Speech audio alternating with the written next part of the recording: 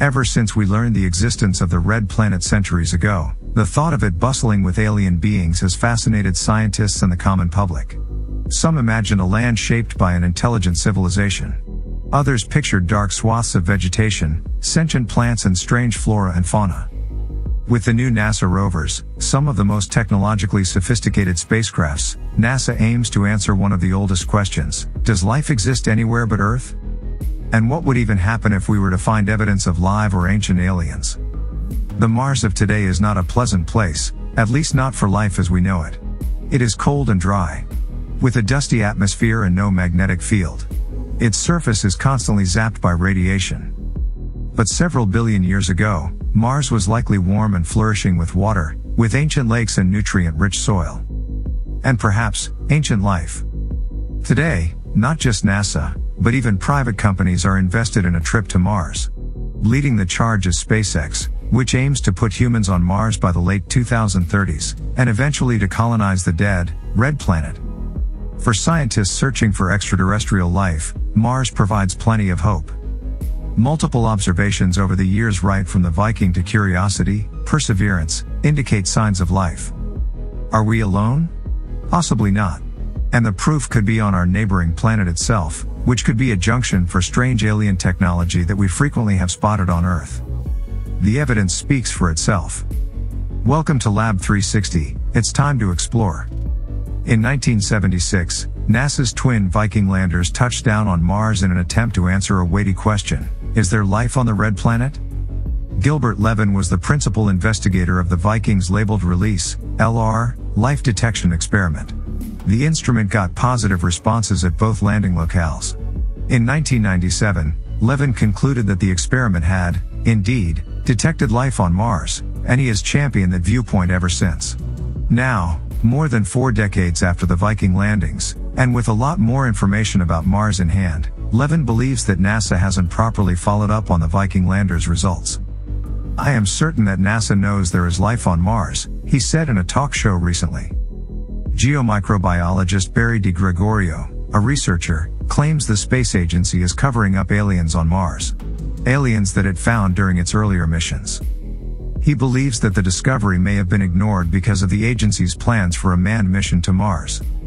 Meanwhile, NASA has described the shapes and images as rock crystals which are being analyzed. D. Gregorio, who specializes in study of microscopic life in Earth's soil, says the patterns in images from the Curiosity rover are similar to Ordovician trace fossils he photographed on Earth, and are proof of soft-bodied life forms. But what about aliens on Mars? Over the years, NASA has recorded vast amounts of footage of Mars, from photographs to videos to live streams from rovers. Well, a South African researcher has been combing through some of it and uncovered something very peculiar in images from 2006, what looks like a UFO that crashed on the red planet. Gene Ward was going through footage taken by the Mars Reconnaissance Orbiter when he discovered the odd site at the bottom of the Candor Chasma, a large canyon in Mars Valles Marineris system, said to be the planet's equivalent of the Grand Canyon. In fact, it is considered the largest known canyon in the solar system, and it, Gene focused on what he called a strange trench. At the end of the trench there is a perfect disk that is mostly covered in sand and debris, and behind it, we have random dunes. Ward goes on to note, it looks like a disc-shaped craft or object came in at a very low angle and crashed into the surface of Mars leaving the strange behind it. He then zooms in more on the disc-shaped object, which he surmises is 40 to 50 feet in diameter, pointing out that that is about the same width as the trench behind it. He adds, it looks like a disc that's partially elevated on one side as it plowed into the surface. While some commenters wrote off the discovery as a sand dune or space junk, others felt it was something much more significant, calling it a great find and writing things like, there is really nothing else it could be, other than a crash saucer shaped object. I know they are afraid of contamination but still, I wish NASA would investigate.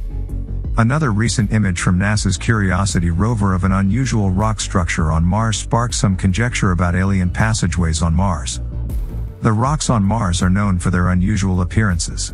Ever since this image was released to the general public, there's been a lot of speculation asking what might have caused a doorway-like passage to appear on the side of a Mars hill.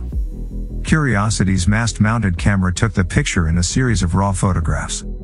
A UFO fanatic deciphered the image, which looks like an entrance to a secret underground tunnel, by providing a broader look at the surrounding landscape. This led the people to ask questions like, is this the proof we've been looking for our entire lives? Will we finally be able to see aliens? But the doorway turned out to be not a doorway at all. It's just a small crevice on a Martian hill that looks like an interdimensional passage. Since Mars' surface isn't anything like the Earth, its images can be very tricky. A strangely eroded rock can resemble a fish. A cliff with backlighting can resemble the profile of a face. Cropped images and zoomed in views can magnify small details. If the shadows were falling at a different angle, it would make the doorway very uninteresting. The scientists at NASA emphasized on how small the crevice actually is. It's only about 30 by 45 centimeters wide. While we can't be positive if Martians used little doorways, NASA felt confident that the door in this case was simply a small rocky crevice. This isn't meant to take away from the excitement of discovering strangely shaped rocks and landscape characteristics on Mars. The fact that we have wheeled robots roaming around in the Gale crater, transmitting back photographs from another planet, is arguably the most magical aspect. Meanwhile, the very first Webb images of Mars revealed an unsettling terrain, and a presence of life indicators like water, CO2 and carbon monoxide. The Webb images revealed a region of the planet's eastern hemisphere, including one of the solar system's largest impact craters, and a lava flow from a volcano that is long extinct. Webb captured the images with its near-infrared camera, along with data from its near-infrared spectrometer. But the image's most awe-striking reveal is one of a giant crater on the eastern half of the planet. One that is now known by the name of Hellas Basin. Possibly the oldest and largest impact craters in our solar system. About 4 billion years ago, something enormous slammed into the young planet Mars, leaving behind a crater 1,400 miles wide and 4.4 miles deep, just south of the planet's equator. The crater, now known as Hellas Basin, shows up in dark orange in Webb's first image of the eastern half of Mars, a cooler splotch against the brightness of the rest of the daylit side of the planet, which glows bright yellow with radiating heat. Shorter wavelengths of Webb's infrared light revealed more minute details. You can see the northeastern edge of the Hellas Basin, along with another of Mars' largest craters, the 290 miles wide Huygens crater. Once upon a time, Water used to flow through the Huygens, a steady stream that carved a branching network of channels into the rocky surface. It was NASA's Mars Reconnaissance Orbiter that also spotted clay and carbonate minerals, both of which only form in wet environments, exposed by a smaller impact crater inside Huygens. James Webb's NIRSPEC instrument also measured the spectrum of infrared light coming from the planet. To put it simply, NIRSPEC sorted Mars light into individual wavelengths, one that corresponds to specific chemicals on the surface and in the atmosphere of Mars. The dips in this graph show the wavelengths where molecules in Mars' atmosphere absorb light. These wavelengths reveal the presence of water, carbon dioxide, and carbon monoxide. It's tempting to think of Mars as an easy target for Webb, when compared to distant galaxies from light years away, but it's actually not. For Webb, Mars is so close, and so bright, that it's quite hard to look at. Imagine looking at your phone while holding it just in front of your eyes, that's what it's like for Webb to look at Mars. And yet, it has done a commendable job, furthering our understanding of the planet and its history. Whether all these images and data of Mars' surface and atmosphere do reveal the presence of ancient alien life, is not for certain. It will require a lot more study and missions before we arrive at a definite conclusion. What do you guys have to say?